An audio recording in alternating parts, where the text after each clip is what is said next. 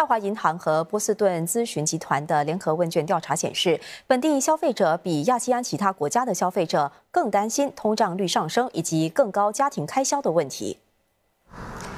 来自我国、印度尼西亚、马来西亚、泰国和越南的超过三千四百消名消费者参与了今年六月进行的问卷调查。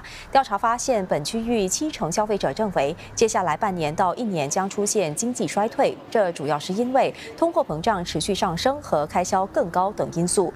调查也显示，百分之四十二受访国人担心储蓄不够，百分之三十七则担忧退休生活规划。此外呢，减少储蓄的受访者有近四分之一。不过，亚细安地区消费者对于明年六月底前个人经济状况好转感到乐观。There's a little bit of a mixed bag sentiment, uh, where, where while prices are increasing, data also does show expenses, essential as well as discretionary, has also grown. And of course, with cross borders happening, um, there's a lot of travel that, that is, is coming up. 分析也认为，通胀开始出现趋缓的迹象。